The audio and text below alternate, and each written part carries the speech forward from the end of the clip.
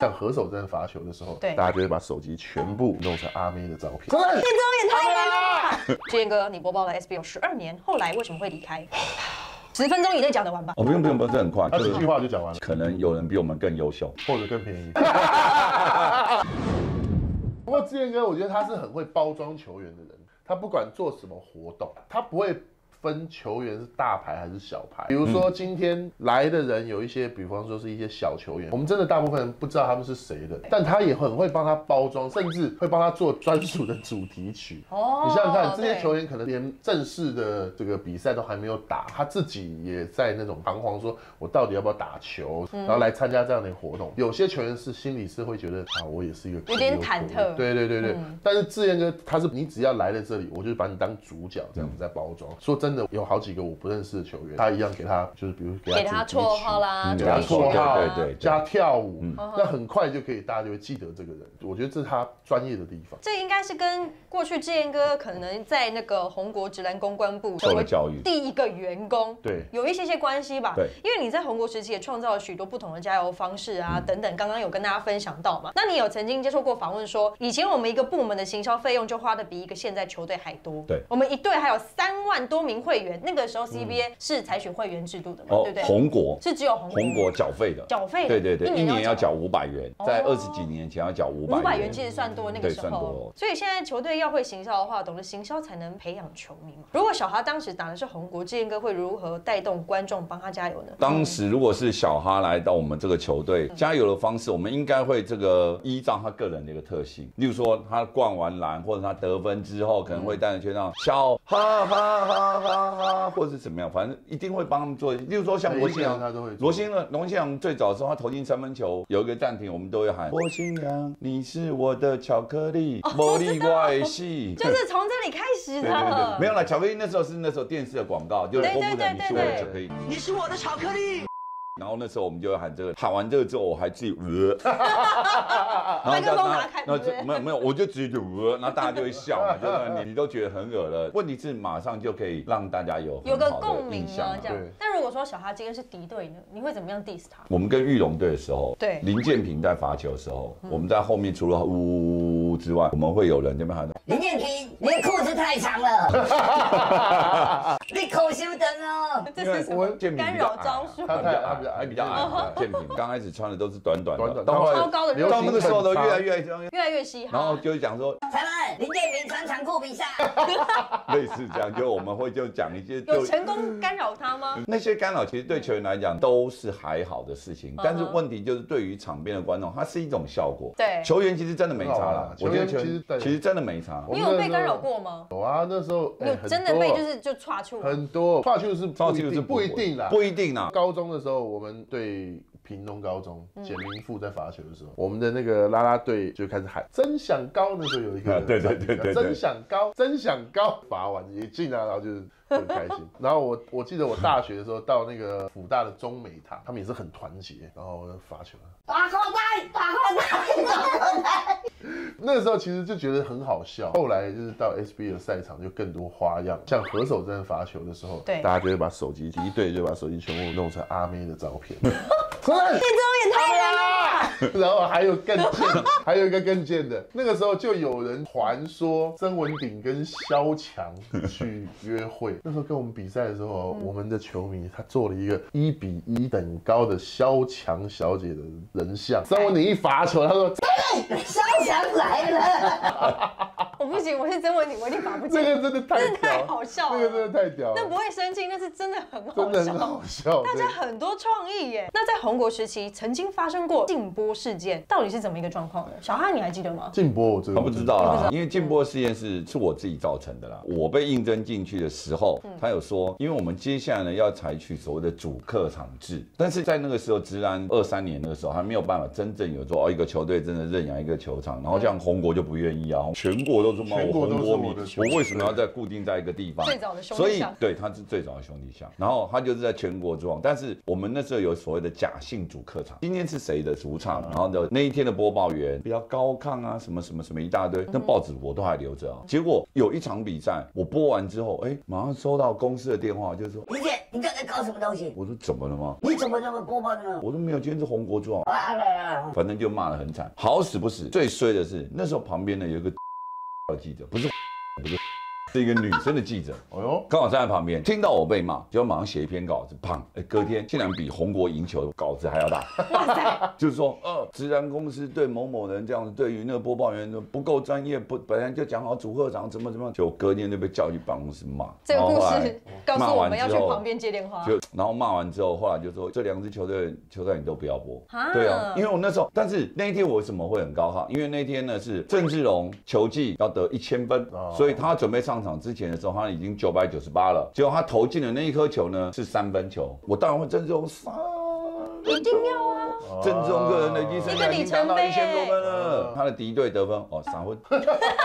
这个是所以就是主客主客场场其实不啊。就是应该这样吗？可是那时候台湾还不可是那一场是还不习惯是红国的主场，红国主场，我那这样播本来就是合理的。可是合理啊，在那个时候，大家不一定能够接受对，不一定能够接受。而且那场比赛我都还记得在哪里，在台南城大啊。可是主客场其实就是应该要这个样子，就是要这。样，但是那个时候，就是因为你不像说现在 Plus League 这边，它是有真的自己的一个场馆，自己就在这个场馆当中，然后你也去经营在地的这些球迷，然后让大家去认同，大家可以去接受。等于哎说你那时候走在前面啦，啊，走得太前面了啦，就跟周星驰一样，那时候有一些电影大家看不懂啊，啊。你说现在像现在 Plus League 这样子所谓的走真正的主客场，嗯，然后就是说放音乐，大家也会骂然后。别人他抱他抱怨，哎谁看谁看。对对对，也不是抱怨了，就是说怎么放一些我就跟你讲，你铁达尼因为你走在前面，铁达尼破音版呢？你怎么可以这样那么没水准呢？对大哥，你有没有看过因为是主 CBA 的比赛呢，懂不？懂？懂不懂？因为是主客场。大家冷静，先缓缓。我们讲到 CBA 的时候，我们就会讲到一个关键，就是很多球员都会去，就是中国大陆发展嘛。志燕哥当初其实也有去一下，我去过一次，然后后来我有去看球过两次。我原本呢就是也要跟新浪队一块过去那个苏州嘛，那时候苏州做主场，那时候小谢已经先过去了，然后去那边担任播报员。那但是那个总经理觉得说，哎，林健你这种主持风格，应该这边人又那么多，你应该蛮合适的，也请我过去。我说好啊，我觉得很棒，我就飞过去了。就第一场的一个主场呢，哎，我就铩羽而归回来了，因为我讲错话。你讲了什么？因为我在在台湾讲什么都可以嘛，就就好像你现在在台湾那个爱国同心会可以拿了五星旗啊，在什么总统府晃来晃去，宪兵也不会抓他嘛。好死不死那天呢，那一场主场人很多，我在第一节比赛的时候呢，下去送礼物的时候，看台上面突然有人跳下来，然后这样跑进来拿走了一颗小礼物，接着呢他就拿了就跑掉，保安就在后面追，呜，对对对对，绕了一场地就蹦蹦蹦，他跳看他跑掉了，哎，这就是揭开序曲，我就觉得跟这球还真好笑，这样人就可以跑进来。到了中场休息的时候，我们要介绍来自各地的好朋友嘛，例如说某某经销商、某某经销商。赞助商们介绍。对，然后好死不死，那一天呢，有一群台湾的学生就在上海读书，在苏州读书，然后他们也被邀请来看这场球。哇，欢迎呢来自遥远的国度这一群同学来这边呢，为自己的国度你完了，修 了结，果哎，一开始没怎么样，突然有一个人站起来，台湾不是一个国家，哪里来的遥远的国度？哎，我刚刚真的有讲吗？我那时候我忘记，因为有时候你讲话因为太很对，快嘛很。顺的。我我我我有讲这个吗？他那个人站起来一骂个圈，然后开始骂我，然后开始骂丢东西。我操！哇塞！所以这就是全场嘘声的来由对，啊。他就丢，还有人丢东西，然后我就被赶快送到那个休息室关起来，关起来，关起来怕有人会暴动啊，会有人暴动。后来等到那些人都走，我才回到宿舍，然后回去宿舍的时候，三哥啦、林玉书啊，你也知道我们这边打球多辛苦。像他们那时候刚去。他只是个播报员，刚去西边，他们去到东北，尤其到他说，哎、你还好没有在东北，否则你出不来，因为东北很多都是军方北方人很凶北方人很凶悍的很多军人去看球，他说你这根本会走不出来，尤其越靠近北京那边，你就更危险。对我后来把话框框，我就回来了，也刚好就这样回来之后，哎、就接到 SBL 了。很 顺势的就把它给他接起来，这样子。中国看球很好笑了，有机会再聊。想过就是要去中国大陆发展吗？其实那时候去那个新浪要去苏州的时候，其实室友问我要不要一起去，因为我那时候也还在念念台艺大，嗯哼，对啊，那时候就最后还是放弃了，没有过去，就就是以读书优先留在那个时候。台湾。对，到后来 CBA 开始想要找台湾的球员过去，第一个其实是想找田磊，嗯。因为那时候有一场也不知道亚洲杯还是什么比赛，他们想说，哇塞，田磊这小子两百公分左右，怎么一直在我们两百一十几公分的人头上一直抓篮板，一直抓篮板，然后打球又潇洒，然后什么的，所以其实一开始他们是锁定田磊，后来田磊因为合约的问题没办法过去，那就锁定志杰。但是到那个时候，其实他们根本不缺大个子啊。对啊，他们不缺大个子啊，他们不不不会想要大个子，他们就是想要打球很好看，然后很有野性啊。刁钻很，快刁钻的，像学林啊、志杰这种打球真的很好看。嗯他们哇没看过这种打球方式的。我那时候当然不会有任何想说，哎，我有可能去大陆，其实不会有这种想法。不是最早是阿龙嘛？对啊，嗯对龙哥这种是阿龙，最早阿龙去啊他去上，我有去看他我有去看他。因为郑志龙第一次到那个上海大鲨鱼，嗯然后我也特别飞过去，想说帮他加油。赛后还有带我到休息室，然后姚明就这样，就是很那时候他年纪还很小，年纪还很小候，因为他身高比较高，然后那个那时候那个休息室高度也没有很高，这样弯着腰，然后好像是妈妈吧，还在帮他擦背、擦汗什么什么。然后那时候要说要要问我要不要给他拍，他说哦不要，好高哦，有压迫感吗？好压迫感啊！那你说去看 CBA 看球，早期、中期跟比较后面有制度，真的差异很大啊。对嗯大鲨鱼那时候的行业可以抽烟的，对，你就看到中场休息的时候，整个上面都是烟雾弥漫这样。然后那一场比赛是他们大鲨鱼的第一场的主场，外面呢是有一群人拿着鼓，然后敲锣刀，咚咚咚咚咚咚咚杀进去的，哇塞，超 好笑的啊。然后但是那个场上遇到有争议，因为楼上他们开始骂脏话应该没有丢东西吧？有丢啊，也会丢，也会丢，也会丢，丢了了。可惨了哦。然后这个时候算是比较早期，然后到了中期的时候，像志杰在那个广厦的时候，我有去看，但是我是去看客场。那时候去大陆，去上海主持一个那个电玩的活动，然后我只有一天，他给我五天的饭店，然后我也不知道干嘛，然后我就就去看球赛，我就包车到青岛很远呢。坐计程车，因为我不太，上海去青岛，我去八一的真的是，我去疯了那个八一队的主场。哇靠，开多久啊？我忘记坐多久，但是我知道我白天去，然后去到那边已经快比赛。哇塞，开了一个多小时哦，还在上海。然后过了一座桥，那个桥好像说是三十二公里，中间有休息站。那个桥有一条桥超直哦，好像经过不知道多少公里，然后就很长。然后开了一个多小时，我就睡了醒醒，哎。师傅现在在哪里？哦，还在上海，还在上海，因为上海本身又塞车什么。我光我去看自己的那场比赛吧，看完比赛然后再出来，然后再回到上海的时候，已经好像凌晨不知道几点，过十二点之后，然后那个因为我去看球，我到那边好像记得是四点多吧，到那边是四点多，然后司机在那边等，要等我到九点嘛，然后我就说啊，你不然这样的，那边有一家咖啡厅，然后我好像给他三百块吧，给他三百块，嗯三百块人民币啊，嗯你去那边休息一下，结果那司机没有，他三百块他就在车上睡觉哦，他没有讲，他没有去，然后我包那一趟车来回两千块人民币啊2000人民币，两千块人民币，去看林志杰这样，。你这样一个活动也学不少啊。还不错哎、对啊。因为我去上海去主持一个那个一场跑跑海鹰车的比赛，一场他给我八千块人民币，八千块人民币包飞机票，对对对，就在那个这个个他们那个步行街当中最大的那个大广场有大荧幕，然后我那时候也才感觉到就是中国的这种所谓的崛起跟他们的那种成长的一个速度，很恐怖，很恐怖。对啊，他们现在玩电竞，他们办的活动是多疯狂的呢，跟演唱会没两样就。在路边哎，就就就那个步行街嘛，快两万人。结束的时候，你想两万人就会有两万张红板凳，对不对？接着它会有什么立柱、高塔、播放设备，那一堆设备，四十分钟清空。好狂哦，场面之浩大。夸张。不过建哥，你自己看过这么多的比赛，也播报过这么多比赛，有没有印象最深刻的一场？哇，我印象深刻的超多，有一场比赛，我就记得有一个人罚球啊，最后罚球就后来哭了，是谁？就是谁？怎么会有人罚球不出手，然后到后来哭了呢？怎么会这样子呢？而且这是我看篮球那么多年来第一次发现的。那一次的罚球，如果罚了进了就赢了，竟然不罚，而且他是被裁判吹了五秒为例。对，你有看过哪一个球员会输球或者是投不进会哭的？没有。很难得啊、表示这个球员他真的胜负心，他的非常羞耻心非常高。对那，这个是谁吗？很明显的吧？很明显啊。就在这里啊！因为我那个时候，我我真的紧张啊，没有没有没有没有或者压。你是紧我张吗脑子太聪明了，心里想说，我还记得那哭个时候，是聪明的表那时候。裁判是黄朝和老师，跟他还蛮有交情的。罚第一球罚进，第二球进了就平手啦。嗯，第二球进了平手。我想说，那我就再调整久一点吧，抖抖肩，稍微休息呼吸一下。我一看，我还跟黄朝和老师交换了一个眼神，然后他就慈眉善目的看着我，我就好，弄久一点，憋一下五秒了，我就，然后我还看他，他就这样五秒。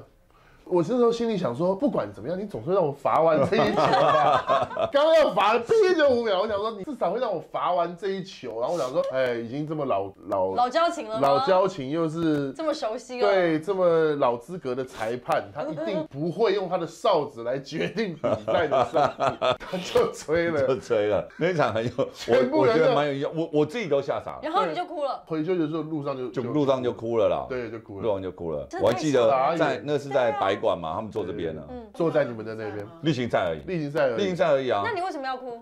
太糗了吧？太糗了啊因。为是丢脸的眼泪。不是丢眼泪，就是觉得说你觉得很扼腕呐，他应该也是觉得很扼腕呐。对啊原本追平的，他我就跟你讲，那时候英雄很有哎羞耻心啊！现在呢？啊，现在就喝酒啊！到 后来，建哥你是怎么把它播报的？其实所有人都已经准备要做延长加赛的准备，甚至于罚不进之后，我就可以说第四节比赛重要。可是突然这边等待的时候，过程当中，哎，奇怪，我当然也等的有点久，然后突然 B，，然后就结束了，哎，我要被攻下，我我真的当下那些我不跟我讲，怎么会这样结束？整个傻住。然后就说，呃，球场就一片哗然啊，有一群人在慌，有一群人傻掉了，嗯然后裁判就这样逼完，然后小孩也，呃，怎怎怎么会这样？然后裁判就这样过走回来，等到他走回来，我说怎么了？我发现五秒未出手，我说哦，罚球未出 手违例，第四节比赛重要，超尴尬的播完。对对，嗯奇怪，怎么会是这样结束？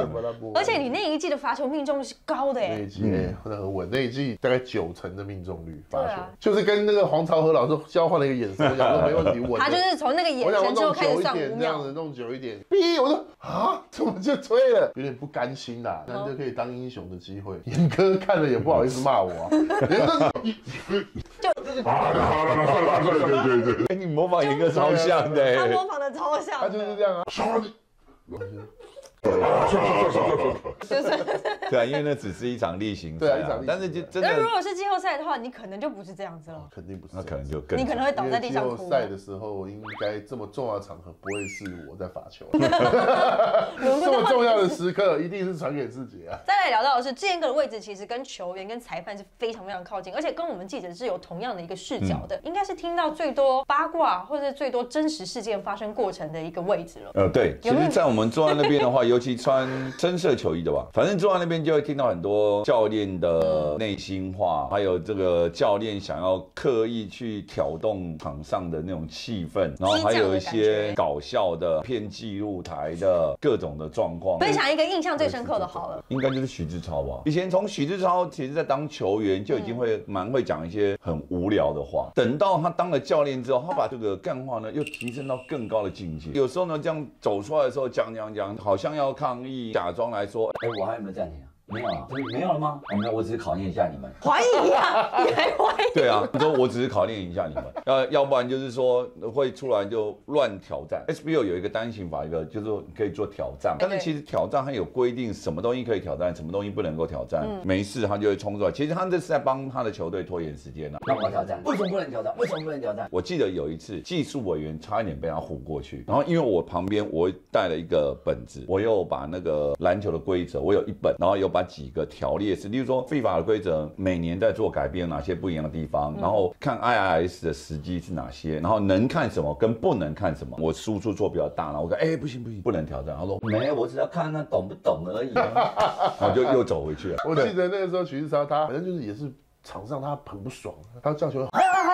啊！可是那个时候规定说，你如果比如说回来多久不出来，就算是罢赛，罢赛就要罚钱。嗯 开始算哦，三十秒他开始算时间哦。哎，这么爆算哦，哎，哪有？我有在算时间呢，时间还没到啊，奇怪。好像是两分钟还一分钟。啊，我又又又，回去打去打去打。他很会弄，他很会哦，像午饭离场嘛，换人的规定的时间是三十秒啊。逼那个人已经离开了，送你离开都已经播完了，对对对播完了都已经播快完了。他人还没出来，然后裁判就说你酒又赶快上来，对啊，他不是有三十秒，还在继续拉哦，他还在抗议，对对对他还在弄。不是有三十秒啊，我规则就这样写的啊。他不想让大家下班然后然后等到裁判又在跟他讲的时候，我说哦。哦好，你这样写。但志远哥应该最常提醒严哥就是严严哥的麦克风还没 你是有听到什么东西才特别提醒他？后面第一排都听到了。看篮球的时候，其实为什么在球员后方的第一排总是门票卖的最好？除了可以近距离的看到球员的背影之外，最有趣的就是听那些球员讲乐色话。像陈立焕吧，陈立焕刚从台银离开的时候转队，他只要拿到球，台银的球员就嘘他，或者说他投说接头接头啊，投了那个头了，那要不然就谁谁，他们如果针对某个，那个一拿到球，旁边的呼呼呼呼，用这些的话去影响场上球员的心情很好，很多啊。难怪第一排总是是最有趣的。不过有没有你播过哪一次是真的让你就是笑场笑的最严重，没有办法收拾？这倒是没有哎、我通常笑场的时候是会发生在场上有临时状况的时候。抛彩蛋，后来呢也蛮有趣的，只是我吓傻了而已。你吓傻了我就对不对突然冲出来。其实那一天新竹工程师的开幕战，其实发生多很多有趣的事情啊。可能在电视机前面或者在收看网络的朋友根本不知道，因为我后来回去有看重播，电视上听到那些球员的家人的声音是完整的，可是现场是没有声音的。那也太尴尬了。最好笑的是，那支影片我也没看过。一播出来的时候，嗯、第一幕啊是林，就是黑豆嘛，嗯恩豆啦，恩豆跟他女儿嘛，嗯然后就开始那边讲话，嗯，奇怪，怎么没声音？没声音也真的不行，不知道该怎么办。我那时候他前面讲大概三十几秒都没有声音，我到后来我真的我也觉得不行了。后来冠伦的女儿开始讲话，讲呃爸爸圣诞节快乐，我就用模仿小女生的声音，爸爸圣诞节快乐。真的是不是办法中的办法。对，然后后来又另外一个家人要讲，我又去哦，我就按照台们配音帮他们台词讲，然后到后来就是按照那种情境嘛。最记得，因为我本身跟林立人还蛮熟，因为本身林立人就是一个嗨咖，然后等到他林立人那个家人出来讲话的时候，我用台湾国语，林立人，林立人打球哦，爱听教练话哦，林立人命用正。潘高汉小孩那一段我也蛮有印象，就叭叭叭讲讲讲，然后他有一段用符号的嘛，呃呃呃呃哦这一段只有他爸爸妈妈听得懂，呃用多声就这样。子撑了八多声撑了八分钟，了八其实那个是那天也有很多记者嘛，状况啦很多媒体记者就是赛后就是要跟我说，天，笑了这个八分钟。原本还在赌是不是只有前面没声音，所以前面只有我一个人单口相声。单口相声，但后来觉得也太干了，赶快塞个纸巾，然后趁圣诞节的一些背景音乐，哦就稍微好一点点。到后来你说我一个人一直讲那么久了，其实也很痛苦。宇轩他妈妈跟他讲说，我会在电视机前面看你哦，我赶快把麦克风录去给宋宇轩。宋宇轩因为那时候有一点热泪盈眶的感觉，然后透过麦克风跟妈妈说，哦，我也会好好加油。YouTube 上面都有存档，你们再自己去看。接下来要问一个比较严肃一点点的问题。好，志燕哥，你播报了 SBO 十二年，后来为什么会离开？我们应该形容比较好？十分钟以内讲得完吧？哦，不用不用不用，这很快，就他几句话就讲完了，可能有人比我们更优秀。或者更便宜。没有了，开玩笑，可能就是说我们的费用，像我的费用是行销公司给的，可能当时的行销公司觉得想省一点钱，因为那时候 HBO 招商也没有那么好，这一块可以是可以省下来一些，比如说从原本一场五六千，如果可以变成两三千，是不是就可以省下一半？他的想法是对，可是他可能忽略到就是说现场观众的感受到底是对还是不对，因为像我以前在播 HBO 这十二年当中，以前有那种爸爸妈妈还有家长啊什么，他们说，哎、这样你你在主持活动中场，我们都不去上厕所。我说你干嘛不去尿尿？他说没有啊，你中场那个玩游戏啊，发一些小礼物好像什么的。很好玩对，除了发礼物之外，他说好像在看脱口秀啊，就是我跟那观众互动，他们会觉得很有趣啊，所以我就觉得哦，这可能就是我一个很大的功能，娱乐大家，让大家在除了看球之外，想要休息时间也有多一些互动的空间。当然也有很多网友也是觉得就是说啊，林志颖会的就那一招而已啊，拱人家跳舞啊，脱衣服啊，干嘛干嘛而已，啊、不然你来啊。跟你们讲，现场主持这件事情是非常困难的，尤其是现场的那个年龄层，如果说分众有点大的话，你根本会不知道怎么样去带动他，因为他们已经没有一个共同的语言了。因为我自己其实有跟志燕哥搭档过，就是主持一些活动等等，我在现场看到搭档是他，我就觉得安心了很，安心。就是真的很安心。就是我就是天生就很奇怪，可能我的慧眼独具，我就是一看我就知道这个人能不能整，这个人能不能 Q，这个人适不适合开玩笑。你说，你看我们在做陈伟英的活动，我也经常去巴球迷啊，然后把他拖出来 毒打啊，就是会拖的投的不好我也扒他啊，比较有那种互动性，因为像我就真的不会去 cue 就是观众起来就是唱歌或者是跳舞，因为我没有把握他能不能这样做。因为弄不好的话变成我自己要跳舞。哎对。不要闹了。但志燕哥很能看吗很会，但是我唯一就是弄错球迷一次的嗯。是小花的球迷啊，他也哭了，他也哭了，为什么？因为呢，我那时候是台皮封王，然后我们做全省的巡回，然后他有一个超支持他的球迷哦，他超支持他的球台中人台中的嘛，我们送了很多礼物，后来玩了一个游戏，又把他 Q 上来了。反正我想说还会送，例如说我们还会送一个笔记本嘛，他手上已经有一个笔记本了，我就把他的笔记本拿起来丢给他家的观众，然后就他，你为什么哭？我要给你。你有在夸我？你知道有多贱吗？原本讲好的游戏是 比手画脚比手画脚，比手画脚了。结果他一看到我那个球衣，他身材大概跟我比较相像，他一上来他马上就来来来，我们现在玩一个游戏哦，来发报纸，发报纸。人发一张报纸，完折报报纸站着嘛，站着。然后后来越越折越小嘛，到最后你要把它抱起来，然后怎么他都是剩下一张，怎么样他都会输啊。对，我们两两组人嘛，例如说哦两组人，然后我们玩猜牌，然后猜拳，哦哦你慢出，然后就把他报纸折一半，然后再猜拳，哦他真的输了再折一半，然后到后来他就抱着慢我要抱着那个那个女生，我就啊，他一只脚，我就啊，不是教我们比手画脚吗？怎么换游戏？这个真的只有志燕哥做到，我都不敢换游戏。但是我相信，会出事相信像，但是我相信，如果你说那个嘛，你会不会一辈子支持小哈？会，场边那些观众朋友看到他们玩的这么开心，他会觉得小哈真的很亲切，对对相对的也会帮他吸到一些粉丝啊，小哈对球迷真的很好啊，什么什么一大堆。你看那个球迷可以对他这样死心塌地，一模一样东西丢下去，只是因为那是差别小哈给他的。是小哈给他的，小哈送的时候他接到的，哦。他 当然很哭啊，在舞台上连合手政治解说了哦。后来有付给人家吗？有有有，你当场要还给他的有。啊。有。有。现在哎，我现在去综艺《三国志》的见面会，他也会来，他也会去哦，一定会的对，一辈子的铁粉，一辈子真的是老铁了，你再好好对人已经变好。朋友了。对对对。